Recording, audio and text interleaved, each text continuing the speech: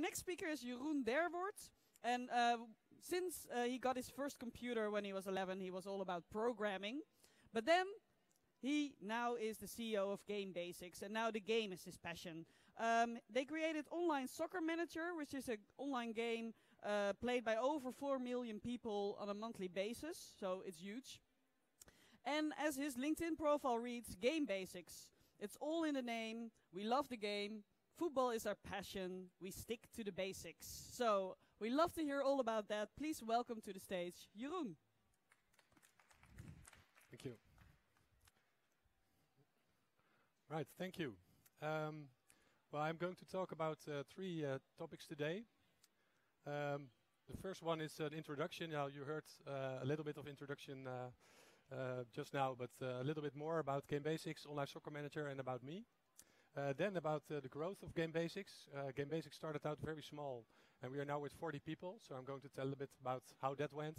And the last topic, I will talk the most have the most about the last topic, and that's about the new version of OSM, which was released uh, just a few, few weeks ago, 11 May.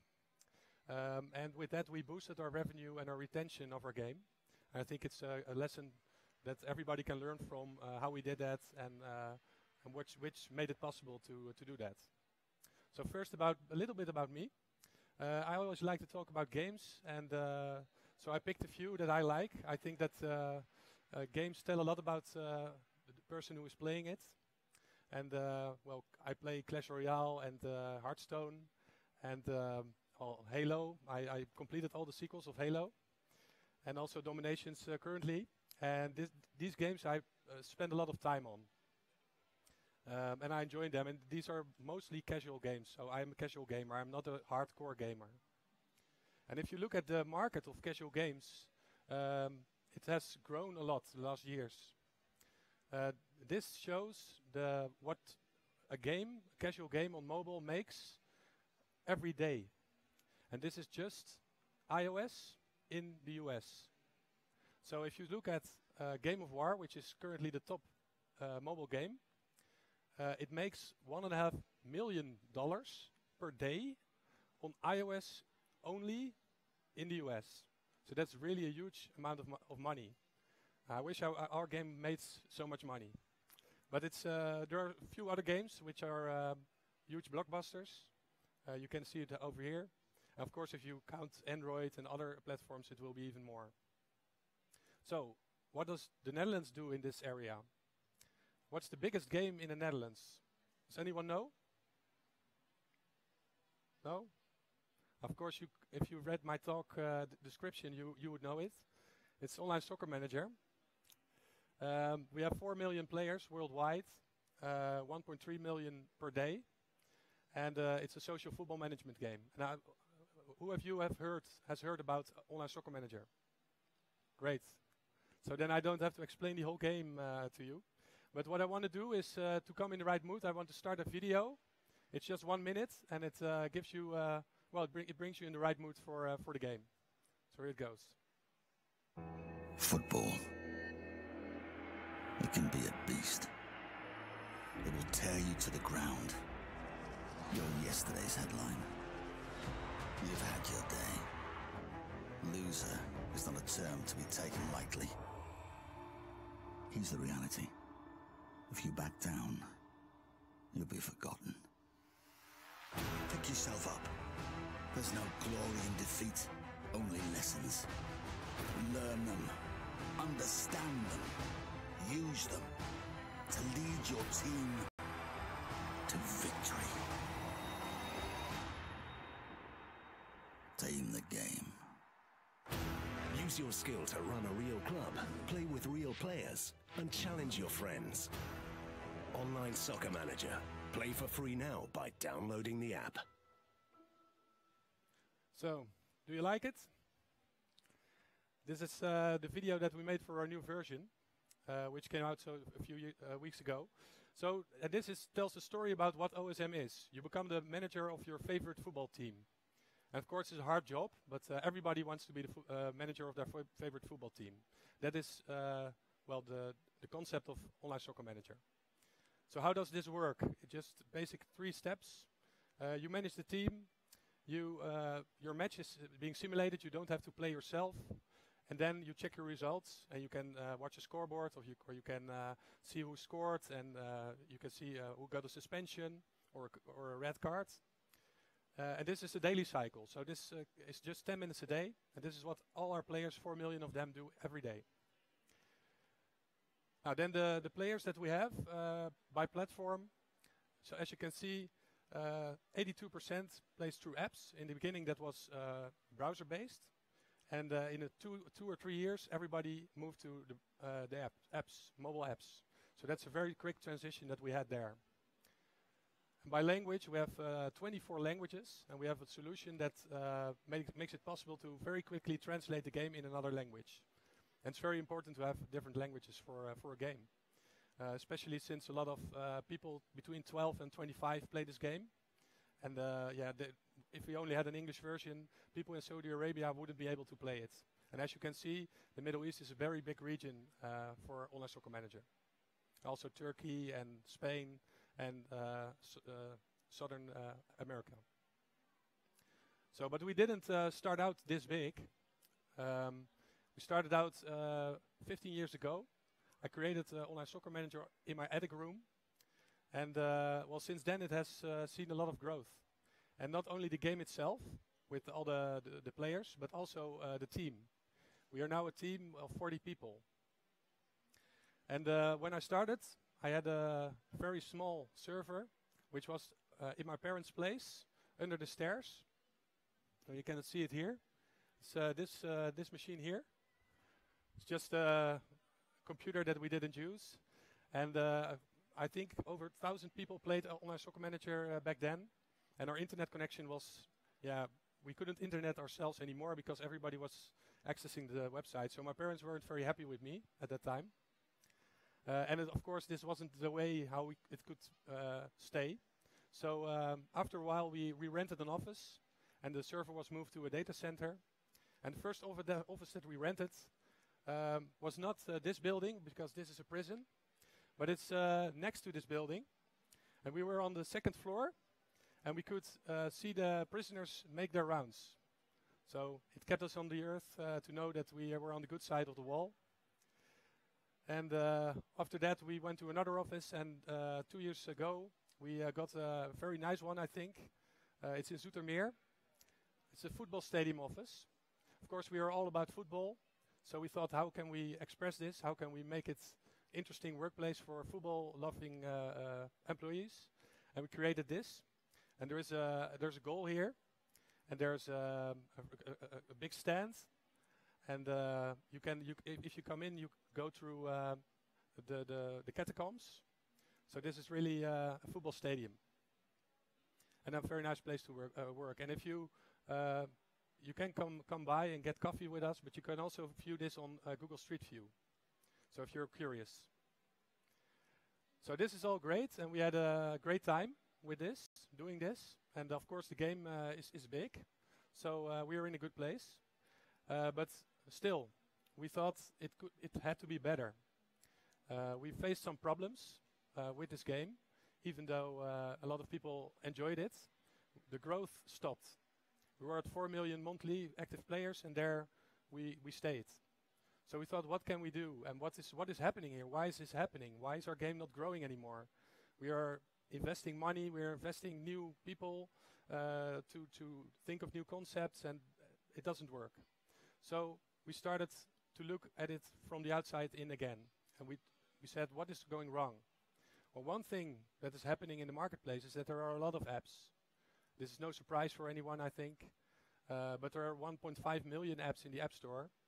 And uh, to stand out from that is very difficult. For Online Soccer Manager, this is the same. Even though we have a very ins- large installed user base, it's still difficult. And we also face some very uh, significant competition. Uh, this is, for example, Top 11 and uh, Club Manager. Um, these are big players.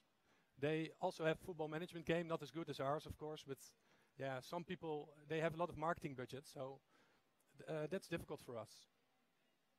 And the last reason is that we went into the era of post PC devices, and of course we created a beautiful app, but it was still an app uh, meant to be played from a PC. So we had um, one time a day, for example, that you log in and do all your settings, and it's not of this time. You you need uh, to log in multiple multiple times, uh, for example, to uh, to do that. So we thought we need to improve this game, keep the basics and the, the, the success that it has. We want to keep that, but we want to improve it as well. So we looked at what can we do. Um, and there were three things that we found that we wanted to do. First one is that we want to bring in licensing. Second one is to uh, make it a mobile first game. So to really look at it and say, what does it need to be great on mobile? Not on the browser where it came from, but on mobile. And then, last one, a new business model. Licenses are very expensive and we needed to pay them. So we thought, how can we make more money? Some of our competitors earn a lot more uh, from their user base than we did. So 11 May, we uh, we launched, and that's a few weeks ago. And if it didn't work, then of course I had to now had to tell you that it didn't work. So I had a very uh, interesting talk, maybe to failure, but of course it worked. So I can tell you that uh, well that the new game is great, but some of my co colleagues can do that even better. Uh, so I will start a short video uh, again of one minute where they explain some of the highlights of the new game.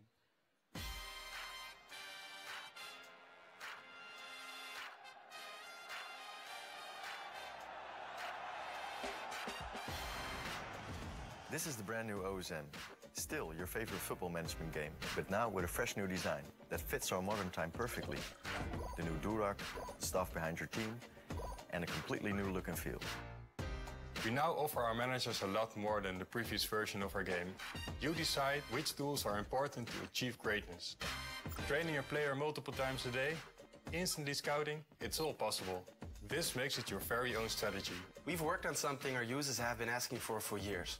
We've closed some partnerships with some major leagues and clubs and are now able to use player portraits and club logos inside our game. This uncovers the true face behind your team. That's authenticity.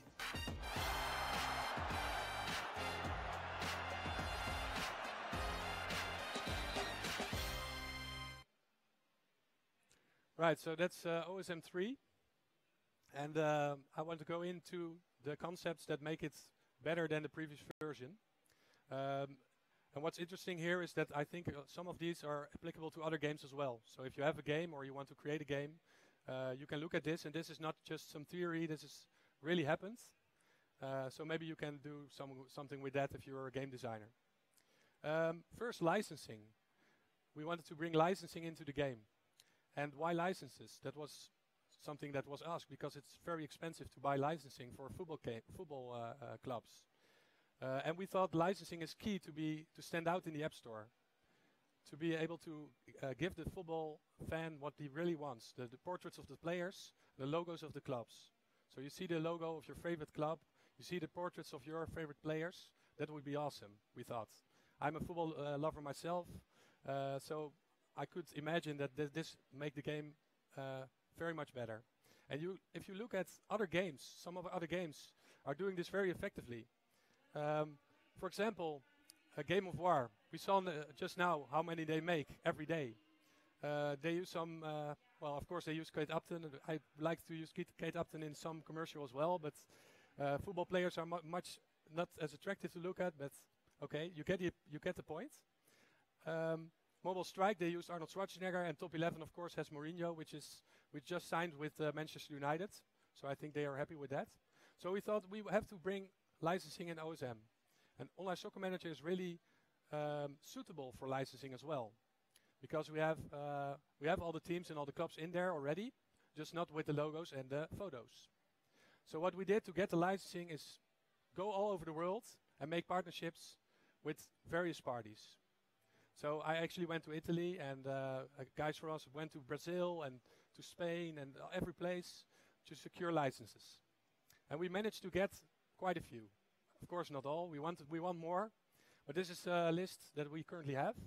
So, for example, the Eredivisie, the Dutch Eredivisie. I'm very proud of that. Also, the Belgian uh, uh, league, and uh, we're working on some major other leagues. So, hopefully, in a few years, we will have, for example, the Spanish and the English league. Of course, we want the Premier League in there. So that's our ambition. Then the second thing we wanted to improve, mobile first. So how may, do you make a, a good game? Let's call it a good game. Better and mobile first. Um, the term we thought of was more intense sessions with friends. We created some design goals. So everything that was in the game was redeveloped. And we applied these design goals to make them better in a certain direction. So it was increased decision intensity, more sessions, and play with friends. And the metric that we used to measure these improvements, if they actually improved or not, is retention. So how many players are still left after one day, seven days, 30 days after they sign up? Well, the first one, increased decision intensity, is a difficult one, but it's very important. We didn't have a tutorial, so people came in and they didn't know what to do. They had to learn it from other people, and of course we had an installed base, so that worked for some. But to bring it, make it bigger, we needed a tutorial. We brought in servicing, which means uh, there's a lot of interesting uh, features in OSM, such as uh, going on a training camp, uh, uh, uh, choosing sponsors, things like that. But some people didn't know how to use them or didn't know where to find them. It's actually strange that, for example, training camps is something that people use on the wrong times. A training camp is used in OSM to prepare your um, team for the next match, but some people use it in preparation. And then there is no next match. So they didn't know where, where it was for. So this is something that we improved. And finally, we brought in some context. So if you make a decision, you should see what it has, what kind of effect it has. It's very important because this is a strategy game after all. So that's about increased decision intensity. Then we looked at the sessions. I already told you one session a day. That was how OSM worked. But if you look at this graph here, you see that people pick up their phone 150 times a day. A lot of it is to, to, to do calls or to, to look at the time, but there are 12 sessions for gaming. We need to claim more of those sessions. If people play OSM, they need to play it every day and all day long. Not uh, an hour uh, in one time, but just a minute and then another minute somewhere else on the day. So we thought we, we need to achieve five to ten sessions. That would be nice. Well, how did we do, do that? We brought in a very familiar concept for most people, uh, timers. So for example, if you train your player, uh, it will now take eight hours instead of an whole day. It looks like this. This is an animation. So you can uh, claim your training after you uh, trained him, and then he will improve in his uh, skill. And we applied this concept to several other um, game features as well. So, for example, to stadium upgrades, to scouting. Uh, that's all working with timers now. Now, of course, uh, it's not uh, one hour, but it's six hours, eight hours, and that way we generate more sessions a day. And also, it, the game is much more interesting if you come in and there's always something for you to do. Always something that you can be rewarded for. That's important. And the last thing that we wanted to improve was play with friends. Online Soccer Manager, I think any casual game is most powerful because you can play it with your friends. We found a great tool which is called branch.io. I encourage you to look it up if you're interested in this uh, thing. And it enables it, this is a very complicated graph, but it enables it, enables the game, uh, gamers to invite each other from different platforms. So for example, I am on iOS, my friend is on web, I can invite him. The other way around is the same. So and for example, if I don't have the app installed, it automatically installs the app, and then we find each other in the game. And that's very important. So the invitation process is much, much more simple than it used to be. Now, finally, there, to pay for all this, we needed to rethink our business model. The old business model is like this. We have uh, ads, we have subscriptions, and we had what we call private funds. In Dutch, it was called eigen vermogen. Um, and if we look at these three, uh, these are the percentages. So which one should we improve? Well, we decided to improve the last one uh, because the other two were not scalable. We saw in other games that especially um, some people uh, spend a lot of money on a game. If you have a subscription, you can only spend, in our case, three euros, two euros per month on the on the game, and that's it. You get a lot for that, but you cannot spend more even if you want other things. So we changed the business model to more deep spending, it's called. And this is uh, the people that we are targeting with that. It's, they're called whales. Some people just spend a lot in a game. And that's not a lot of people. 0.2% of the total user base ever uses these features. But they amount already in the old version to 40% of the spendings. And it is becoming even more in the new version. So what should we do to uh, um, encourage these whales to spend more in the game? Without making it pay to play, of course. and that's what we did by bringing them into the core game loop. We uh, called the new virtual currency. We introduced a new virtual currency. We called it Boss Coins. And if you are in the game and you uh, do the standard loop that you do every day, then you need to find places where you can spend them. So transfers, training, friendlies, that's where we brought in some spending options so people could uh, spend money there if they wanted. It's not not an uh, obligatory. You can play for free, and still very great game to play for free. If you want, you can spend there. And of course, you can also view uh, ads and get rewarded for that, or you can um, get achievements and get rewarded for that. So those are, those are all kinds of things that you can do to be rewarded with boss coins. With the boss coins, we brought the uh, monetization of the game to industry standards. Our revenue, and I can uh, announce it now, is has increased by more than 150 percent that's that's really I'm really happy with that, as you can imagine. And some people think, well, okay, thinking about gaming and making money is maybe not so great, but it allows you to buy more licensing, to buy more marketing uh, efforts. It, it allows you to do a lot and to get more players into your game. So I'm really happy that we succeeded with the new business model uh, to make more money in the game and still have it a fun game for uh, the other users because the user base hasn't shrunk after the uh, new version has been released. Of course, we were a little afraid for that, that, that might happen, but it didn't happen. So, wrap up the new version. Uh, we increased revenue. We also increased user retention with the features that I showed. 15% it went up. So, of everyone who plays the game over seven days, more people are still there. They enjoy the game more. That's, that's the, the way that we interpret that. And we did that with licensing. We did it with the more intense, intense sessions with friends, um, design goals, and of course we did it with the boss coins in the core loop. Now to wrap, to end the presentation, I want to show you one thing that unfortunately we worked one and a half years on the new game. And some features had to be scrapped because otherwise we would have worked another year on, on, the, on the game. And uh, we are working on some very cool new stuff. And I want to show you one concept art of the new match experience, the scoreboard. Uh, that is, unfortunately, it's not uh, ready yet. Working on it now. And want to introduce it later this year, where you can uh, experience the match that you have played in the game. This is what it looks like. One of our design designers made this. And what happens is, uh, if there is an event in the game, you get something like this, this with game cards, of course, the, the player portraits are there. So hopefully we can present this in the real game uh, soon uh, for you. This uh, repeats endlessly. So this uh, ends my talk, and I want to thank you for your attention. And of course, download the app and become Football Manager when you have the. Please do that. okay, thank you. Thank you very much, Jeroen. So you were not in an attic with a server, you were behind the stairs in your parents' uh, area. Yeah.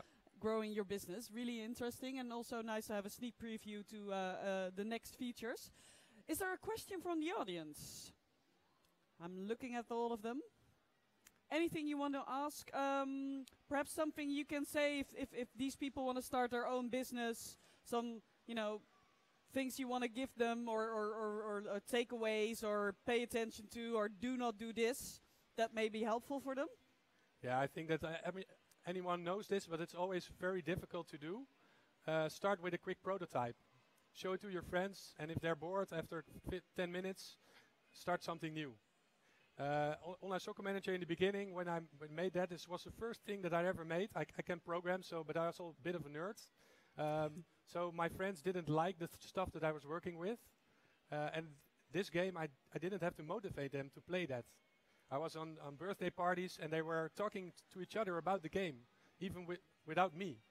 So that was how I saw that it was something bigger than just something that I enjoyed and maybe some one or two of my friends. Yeah, good answer. Any uh, follow-up questions from the audience? Then um, I think in around 10 minutes we have Neelie uh, Smit-Kroes on the on the main stage, so that may be interesting for you to see. I want to thank Jeroen very much for his talk and thank you for your time. This concludes the speaker sessions uh, here on this stage. There will be challenges, but no more talks. So please uh, look at uh, Neelie and uh, have fun today. Thank you very much.